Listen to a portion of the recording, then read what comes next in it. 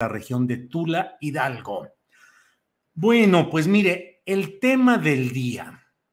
el tema del día es la propuesta de reforma electoral que ha hecho el presidente López Obrador.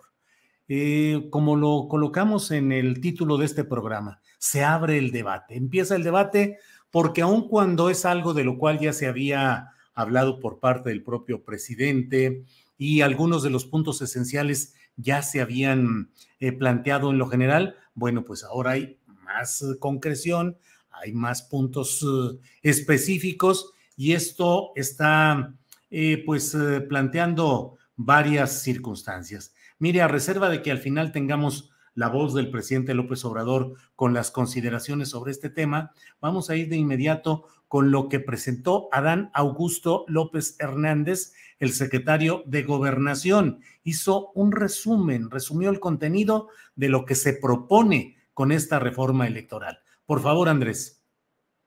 Esta iniciativa de reforma que hoy se presenta a la Cámara de Diputados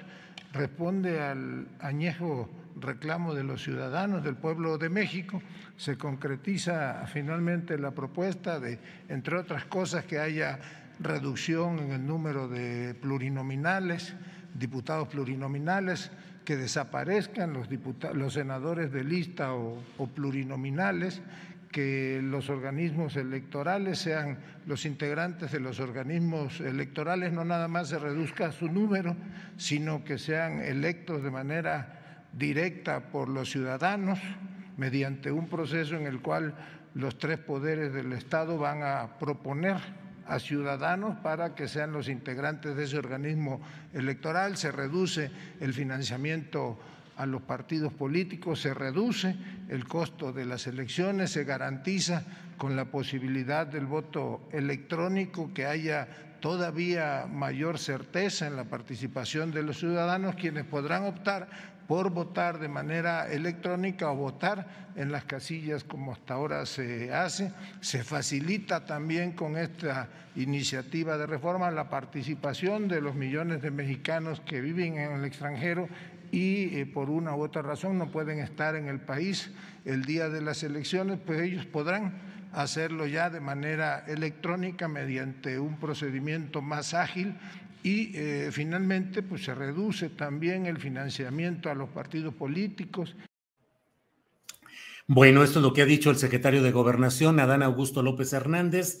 Hay una peculiaridad en lo que ha sucedido hoy, porque quienes han presentado el detalle de lo que es esta propuesta de reforma electoral han sido dos uh, servidores públicos que tienen otro tipo de encargos, delicados, importantes cada uno de ellos, pero que al mismo tiempo son quienes han confeccionado esta propuesta, lo cual pues ya se mencionaba con insistencia desde tiempo atrás el hecho de que Pablo Gómez, titular de la Unidad de Inteligencia Financiera de la Secretaría de Hacienda, y Horacio Duarte Olivares, que es uh, el titular de la de, aduanas, de la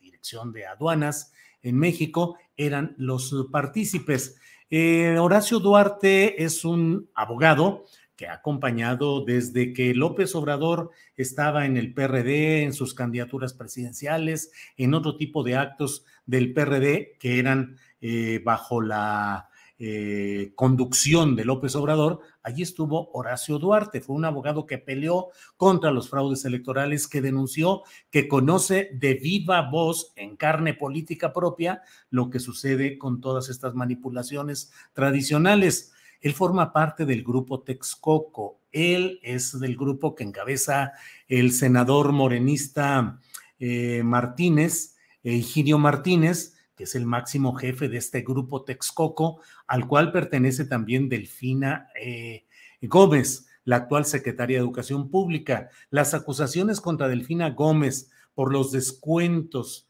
de porcentajes de los sueldos para tareas partidistas es algo en lo cual estuvo también involucrado el propio Horacio Duarte, que era el secretario del ayuntamiento que presidía Delfina Gómez. Bueno, pues Horacio Duarte dio a conocer eh, algunos puntos finos de este tema de la reforma electoral propuesta. Por favor, Andrés.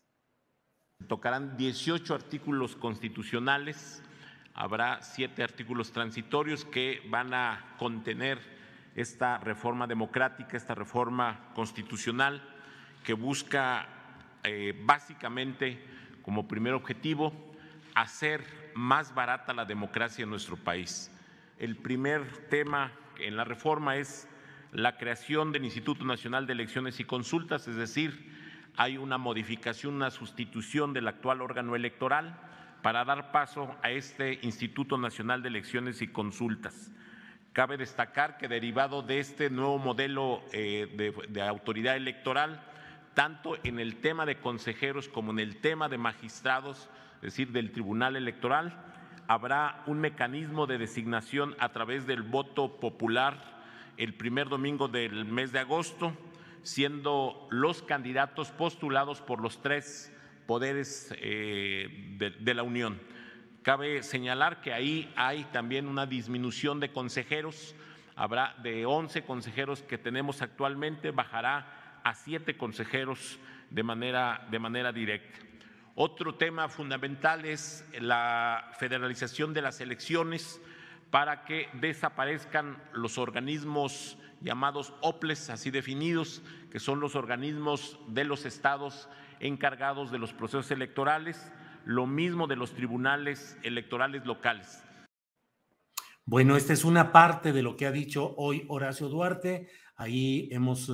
puesto una pausa, pero enseguida eh, voy a pedir que pongamos el video en el cual detalla un poco más el asunto del número de representaciones en los congresos federal y estatales, lo relacionado al financiamiento a partidos políticos y otro tipo de actividades. Eh, por favor, Andrés, el siguiente video con Horacio Duarte.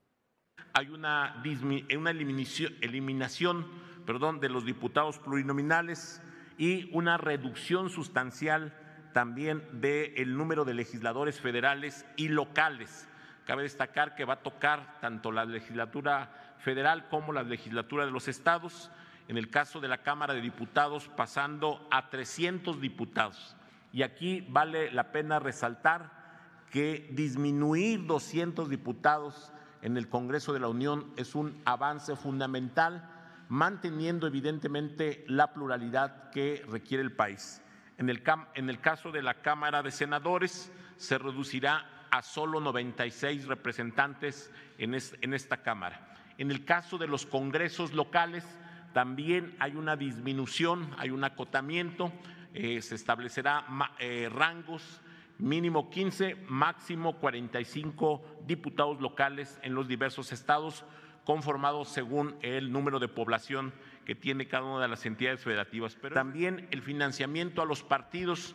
estará modificado para garantizar que el financiamiento público se dé exclusivamente para campañas electorales, haciendo también eh, un mecanismo que evite que las burocracias partidarias tengan, dispongan de recursos todos los años, todos los meses, como actualmente sucede, que fue un mecanismo que en su momento pervirtió la actividad democrática de los partidos políticos. Como también ya lo apuntó el secretario de Gobernación, eh, estamos incorporando también en la Constitución el mecanismo para que los ciudadanos puedan acceder al voto a través de medios electrónicos. Eh, finalmente, también hay una modificación en las definiciones de propaganda gubernamental, ampliando las excepciones para que las autoridades puedan difundir eh, actividades relacionadas con servicios públicos y aquella que tenga que ver con informar sobre los procesos electorales. Bueno, pues estos son los detalles eh, que hemos querido eh, presentarle esta selección que nos ha propuesto, que ha presentado Adriana Buentello, la productora de este programa, pero Escuchemos lo que ha dicho el presidente López Obrador eh,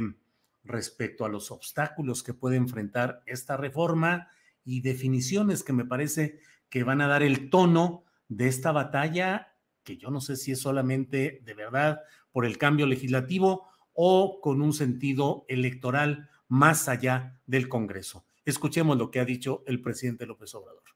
Pues no va a haber eh, yo considero muchos obstáculos, ahora lo van a pensar más, porque según mi información, este, la gente no quedó contenta con ellos, con lo que hicieron eh, al no eh, aprobar la reforma constitucional en materia eléctrica. Y si nos atenemos, repito, reitero, a lo que decía el general Cárdenas y a lo que decía Adolfo López Mateos, fue un acto de traición a la patria. Y la gente no quiere eso. no se elige a los diputados para proteger a empresas extranjeras. Se elige a los diputados para proteger y defender al pueblo de México. Así de claro. Entonces, yo siento que lo van a, pensar más. Pues esto es lo que ha dicho el presidente de la República y ello implica, me parece a mí, que el tono de la discusión que está por venir, ya diferentes representantes, eh, dirigentes de los partidos opositores han ido señalando objeciones a esta propuesta de reforma electoral y pareciera que la tendencia es a reproducir el cierre de filas de estos grupos opositores para no dejar pasar ni esta reforma electoral propuesta por el presidente de la República, ni por eh,